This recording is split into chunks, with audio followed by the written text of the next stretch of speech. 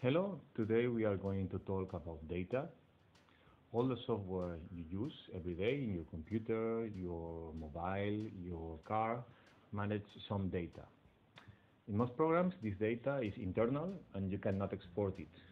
But note that data is yours and you have to be able to use it anywhere. Uh, it should not be owned by the program. In Chronojump, everything is organized in a database uh, and shown by sessions. As you can see here in the software, if I go to load, I will see my sessions with my data and I can organize the tags, I can visualize the different tests and I can uh, edit, delete or whatever. So this is uh, the organization that you used to see when you work with Chronojump. Uh, but now uh, we want to talk not only about the data, how it's organized, but also uh, the ability of exporting the data. We have, or there are four reasons to export the data. The first one, and the most important, is to have a backup of all your data. As you know, in Chronojump, all the data is automatically saved. So if you, for example, you uh, perform a jump or you capture with the force sensor, everything will be captured and recorded, uh, except if you press in cancel or in erase. But if not, it will be inside the database. This is nice because you don't need to care for saving and naming files, word process is faster, the errors, mistakes are avoided, but uh, every security process in a digital environment starts with a backup. So you need to back up your data, you need to have regular backups, and if you don't do it, you will lose your data sooner or later. In Chronojump, we have here in the session uh, menu, we have more, and inside of more, we have the backup all the data and view your data folder. For example, here I have lots of data.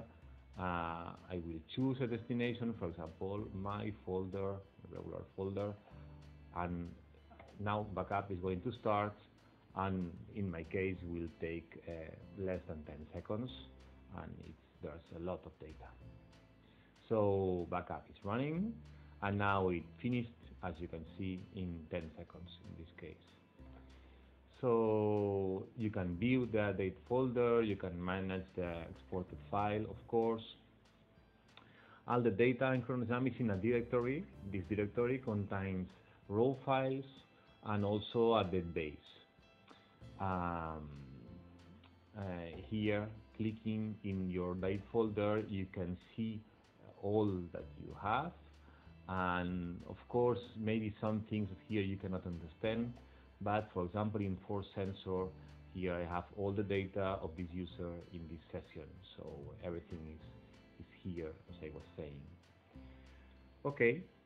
Um, we, of course, we recommend totally that you do backups.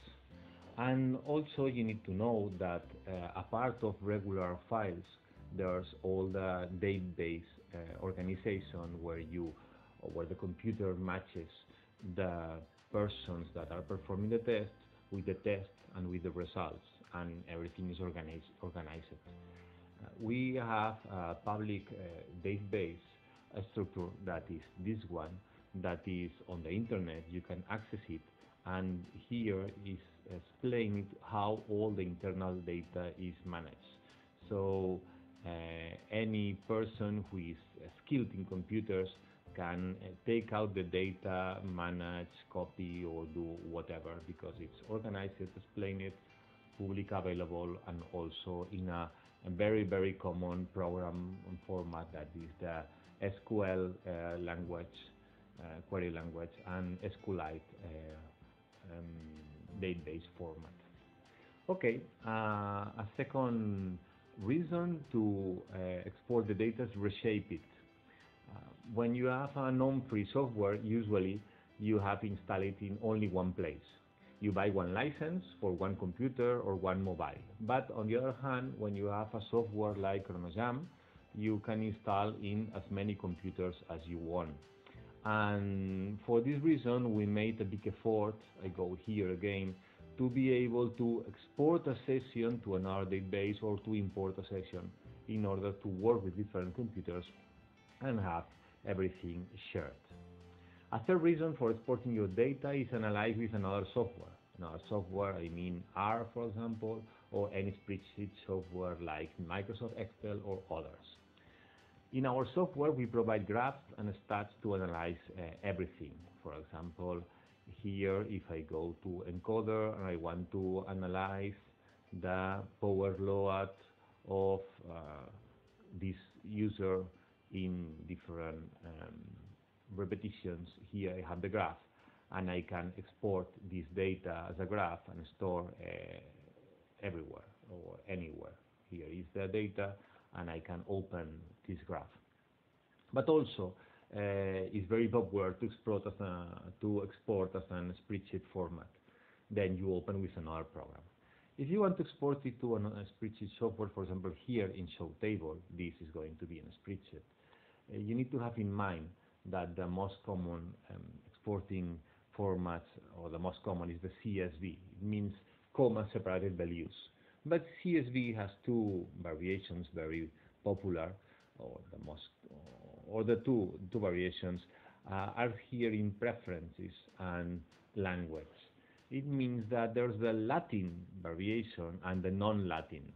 As you can see, the non-Latin is values separated by commas, and every value with the decimal point as a point, the decimal character as a point. But the Latin is semicolon for separating, and the decimal character is the comma. So please uh, go to language and and change this if it is not accord to you. Regularly, as you can see in English, English is spoken, it's, it use this format, the non-Latin, and the others uh, used to use the Latin, or especially, of course, the Latin languages. So uh, having this set to your own preference will allow you to open easily in your spreadsheet or in, or in any program all your exports.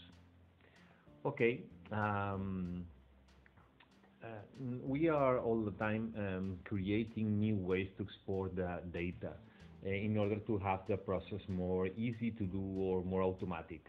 Uh, we are uh, trying to make a unified exporting and reporting tool that you will see how it grows in the future versions.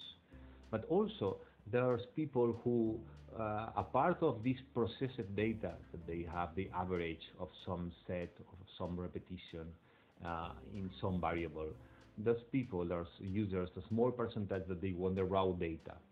And for example, you're going to see a new way of export that is related to our race analyzer that we have here.